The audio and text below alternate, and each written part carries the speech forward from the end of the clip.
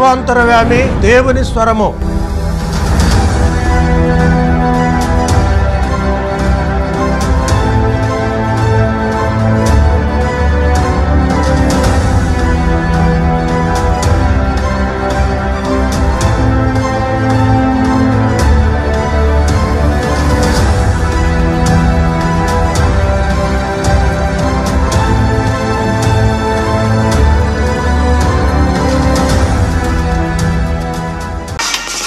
Praise the Lord hallelujah దేవునికి మహిమ కలుగును గాక.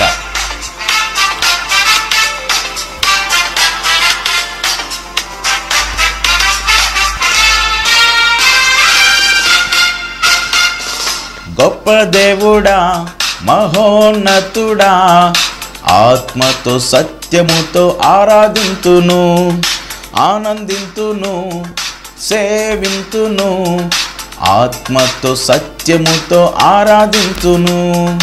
గొప్ప దేవుడా మహోన్నతుడా ఆత్మతో సత్యముతో ఆరాధింతును ఆనందింతును సేవింతును ఆత్మతో సత్యముతో ఆరాధింతును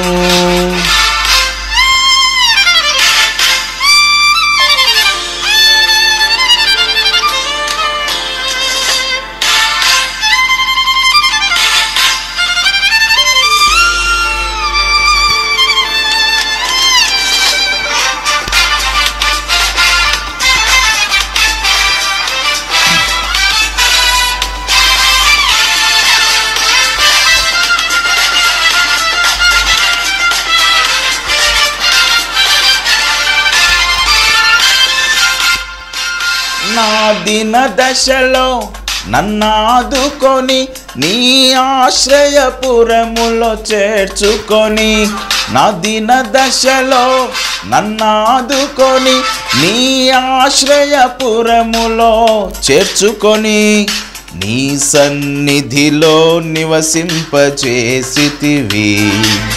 నీ ప్రభావ మహిమలకే నన్ను సాక్షిగా నిలిపితివి.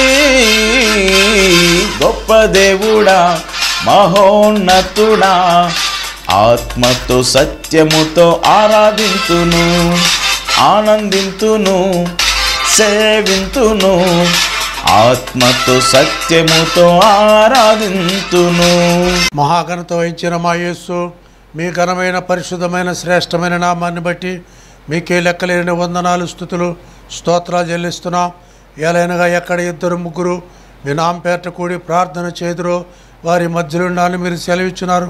ఈ సాయంకాల సమయంలో మీ సన్నిధికి వస్తుండగా ఈ ప్రశస్తమైన సమయాన్ని దీవించి ఇదిగోనైనా నీ వాక్యమును ఈ సమయంలో ధ్యానించబోతూ ఉండగా నీ పరిశుద్ధ ఆత్మను మాతో ఉంచి వినుచున్న వారితో కూడా నీ ఆత్మను తోడయించి అద్భుత కార్యం జరిగించి మీ ప్రసన్నత ఆత్మీయ వాతావరణంలో నైనా పరిశుద్ధాత్మ యొక్క మరి నైనా వాతావరణంలో ఈ కార్యక్రమము అందరూ ఆలకించుటకు సహాయం చేయమని దుష్టుని లయపరచమని నజ్జరేడిన ఏ సునామున ప్రార్థించి వేడుకుంటున్నాము తండ్రి.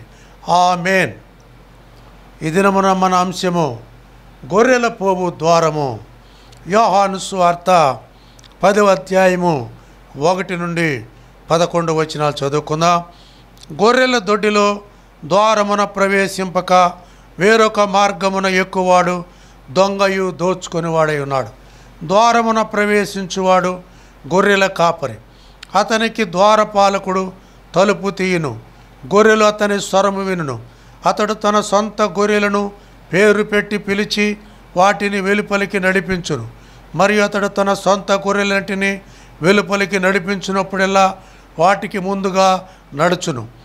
గొర్రెలు అతని స్వరం ఎరుగును గనుక అవి అతనిని వెంబడించును.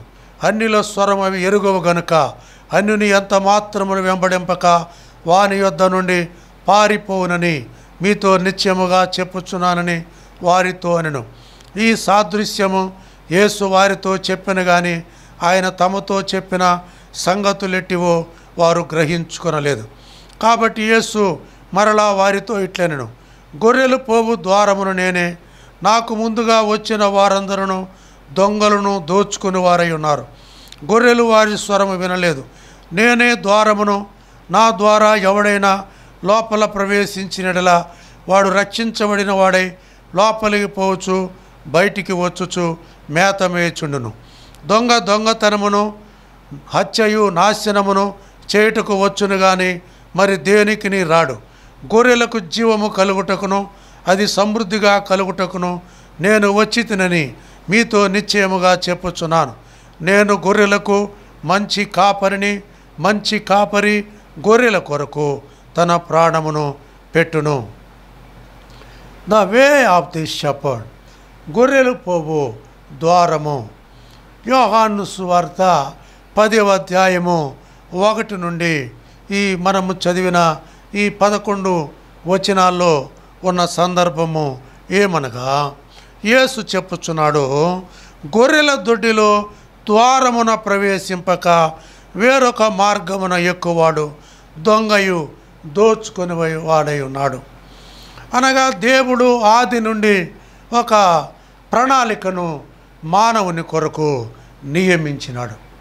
The eternal plan of God దేవుని యొక్క నిత్య సంకల్పము ఏమనగా మనుష్యులు మరి యేసు ప్రభువును మరి అంగీకరించి మరి ఆయనను మరి చేర్చుకొని మరి ఆయనతో సమాధాన పడాలి అనేది మరి ఆది నుండి దేవుడు సంకల్పించినటువంటి ఒక ప్రణాళిక. దేవుడు దీనికి మరి ముందుగా the law of the spirit అనగా ఆత్మ నియమము అనే దాన్ని సృష్టించినాడు. మరి ధర్మశాస్త్రమును గ్రంథమును వారికి ఇచ్చినాడు.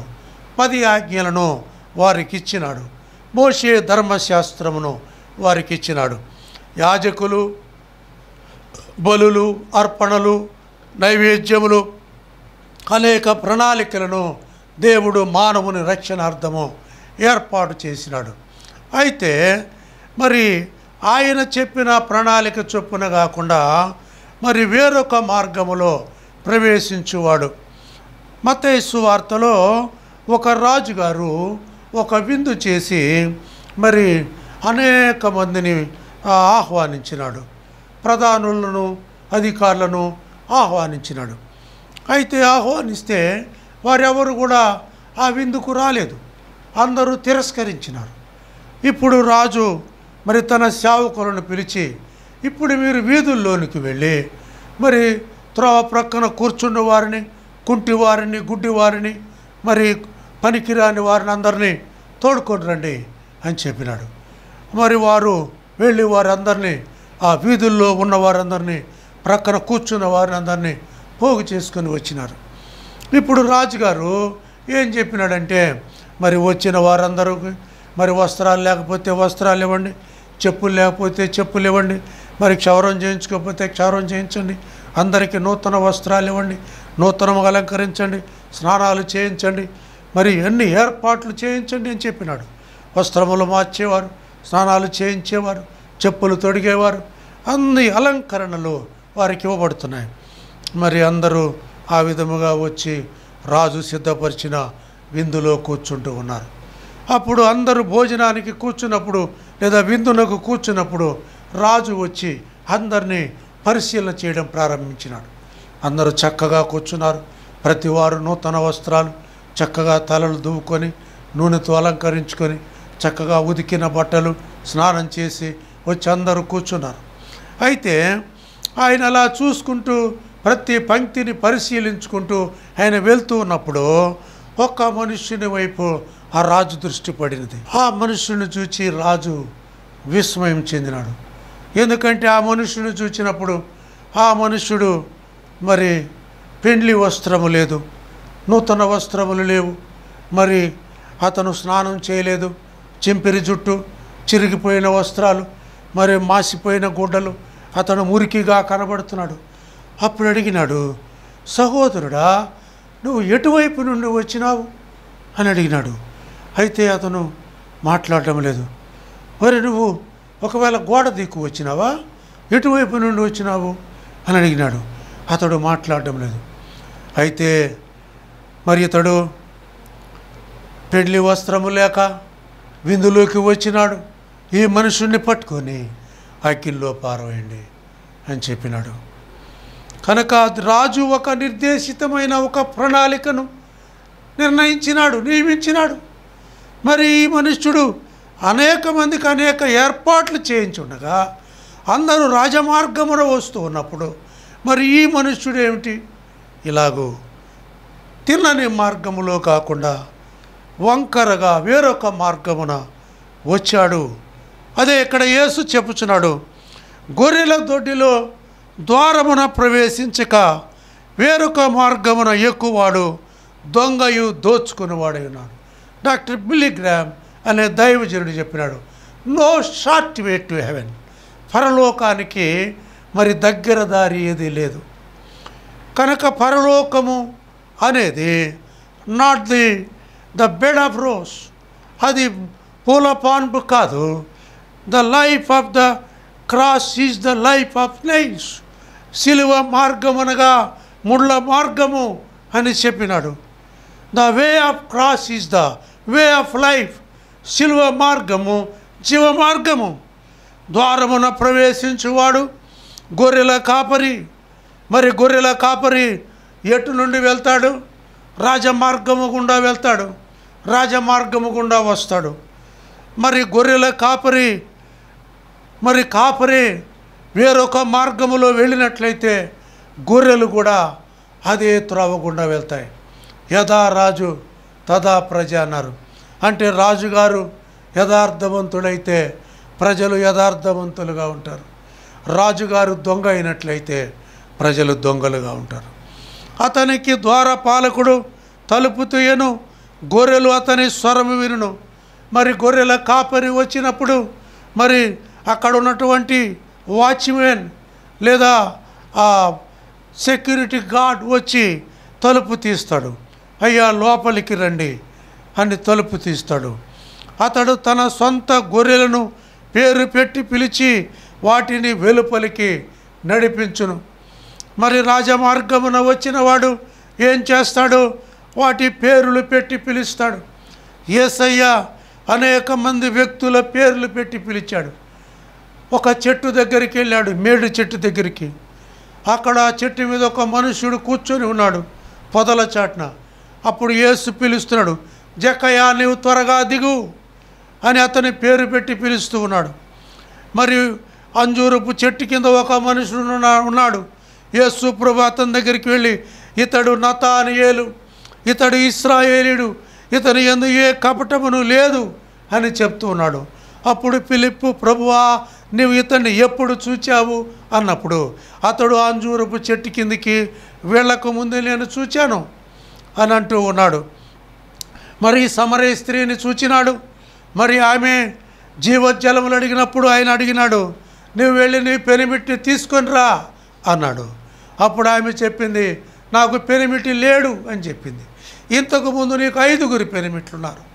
ఇప్పుడున్నవాడు నీ పెనిమిటి కాడను మాట వాస్తవమే నువ్వు సత్యమే చెప్పినావు. మరి ఎప్పుడు వెళ్ళాడు ఏసయ్య గ్రామానికి?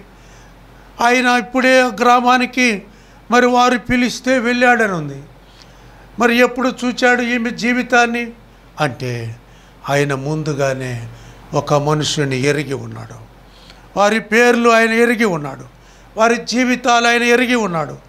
అందుచేత ఆయన తన సొంత గొర్రెలన్నిటినీ మరి పేరు పెట్టి పిలుస్తాడు. మరి అతడు తన సొంత గొర్రెలన్నింటినీ వెలుపలికి నడిపించినప్పుడెల్లా మరి వాటికి ముందుగా నడుస్తాడు.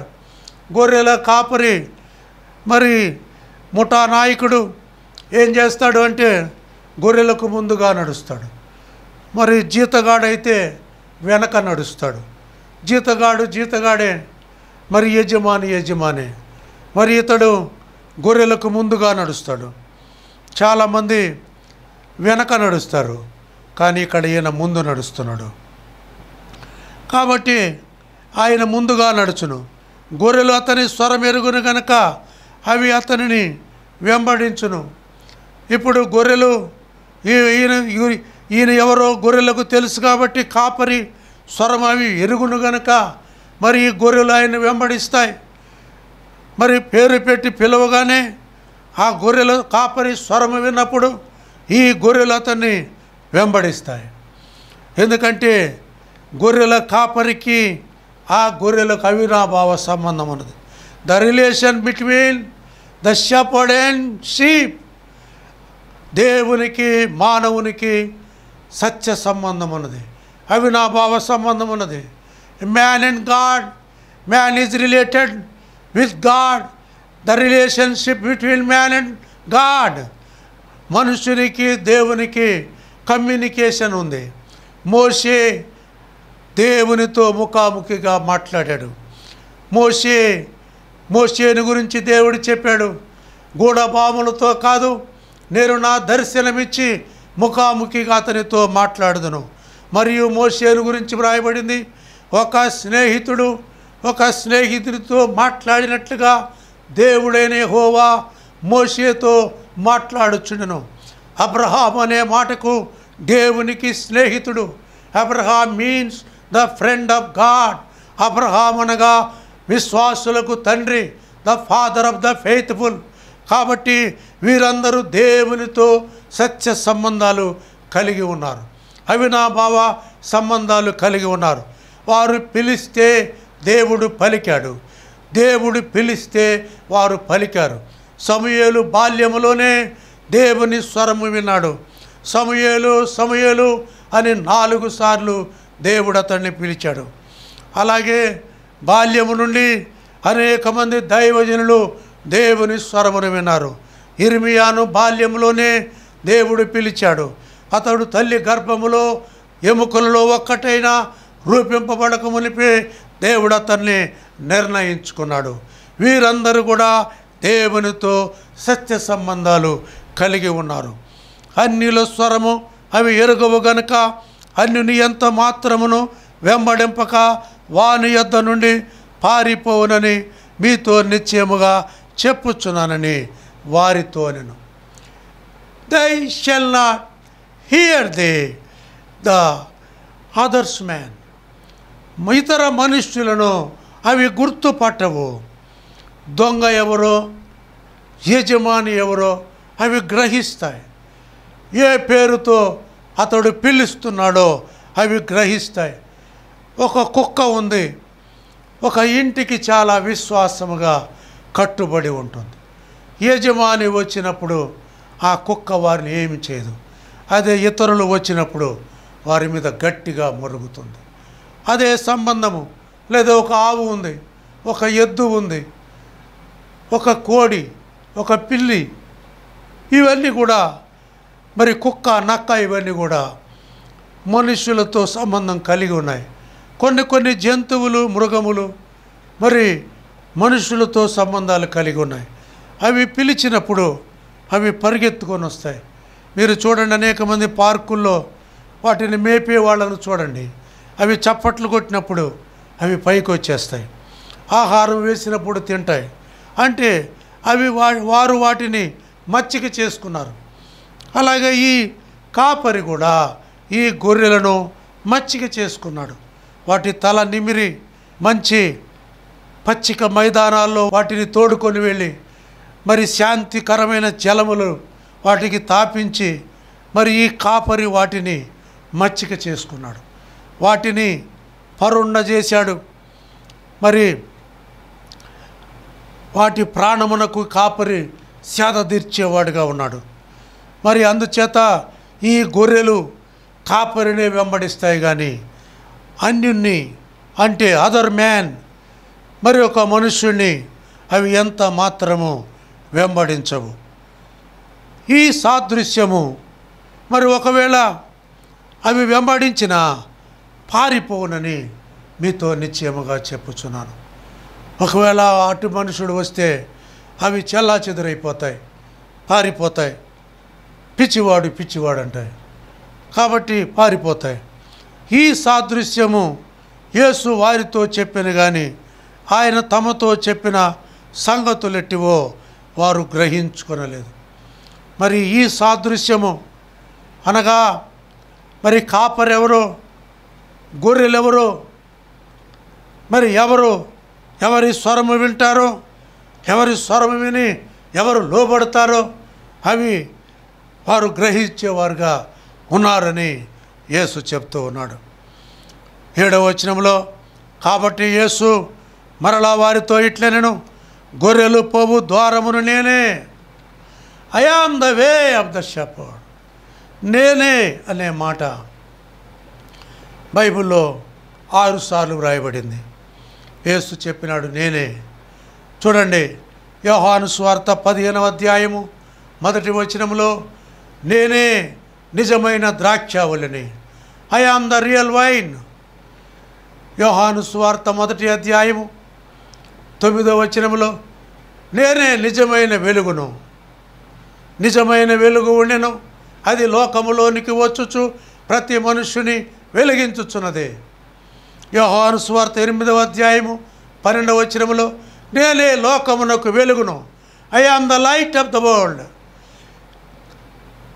నన్ను వెంబడించువాడు ఎంత మాత్రమును చీకటిలో నడువక వాడు జీవపు వెలుగును కలిగి ఉండును.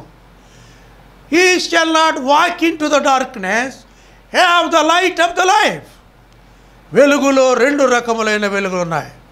ఒకటిది the light of the illumination the second one is the the light of elimination మొట్టమొదటిగా ప్రకాశవంతమైన వెలుగు. రెండవదిగా జీవపు వెలుగు. యోహాను స్వార్థ ఎనిమిదవ అధ్యాయము ముప్పై ఒకటో వచ్చినములో యేసు చెప్పుచున్నాడు మీరు నా వాక్యమునందు నిలిచిన వారైతే సత్యమును గ్రహించి నాకు శిష్యులవుతారు. If you are continue in my word you are still know and make my disciples and the know the truth the truth shall make you free మీరు నిజముగా నాకు శిష్యులయుండి సత్యమును గ్రహిస్తారు అప్పుడు సత్యము మిమ్మలను స్వతంత్రునిగా చేయనని చెప్పాను. అయితే యూదులు అన్నారు మేము ఎవరికి బానిసలము కాదే? అన్నారు.